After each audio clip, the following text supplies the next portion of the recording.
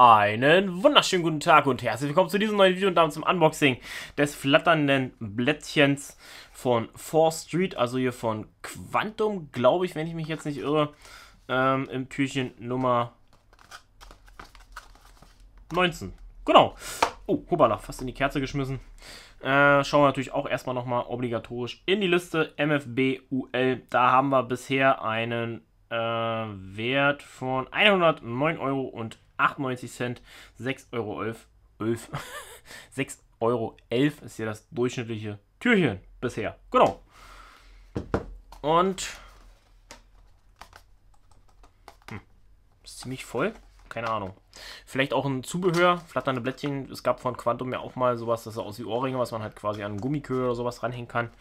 Ich bin gespannt. Oh, da sieht es schon ein bisschen wild aus im Türchen. Nein, es ist natürlich ein kleiner Shatterbait. Oh, da haben sie sich aber Mühe gegeben, den hier so reinzufalten. sieht jetzt nicht mehr ganz so cool aus, aber ist jetzt auch nicht so wild. 10 Gramm, Hakengröße 1,0 Green Pumpkin. Also hier schön ein Shatterbait. Den schauen wir uns auch mal an. Mal gucken, steht da noch was drauf. Nö, außer Green Pumpkin und die Größe und das Gewicht muss eigentlich auch nichts weiter draufstehen. Muss ich mal sagen. Dann werfen wir da mal einen Blick rein. Kennen Sie jemanden, der Ryan scheißt? Ja. Na komm schon. Die Nachrichten verzögern sich ein bisschen. So, da ist er.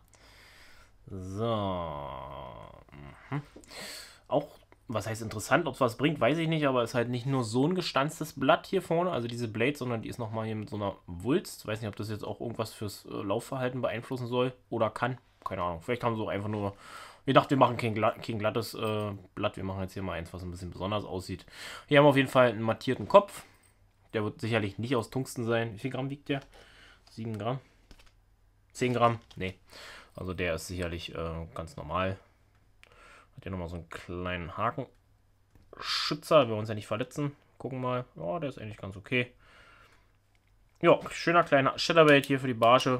UV-aktiv. Jopp, hat auch ein paar Fransen hier. Die mit dabei sind. In der Mitte. Ja, kann man machen. Auch schönes Teil hier. Also für den UL-Kalender sicherlich passend, um große Barsche zu ärgern. Kann man machen. Ja, auch ein schönes Türchen. Dann äh, würde ich mal sagen, sehen wir uns später. Macht's gut, bis dann. Euer Lemmy.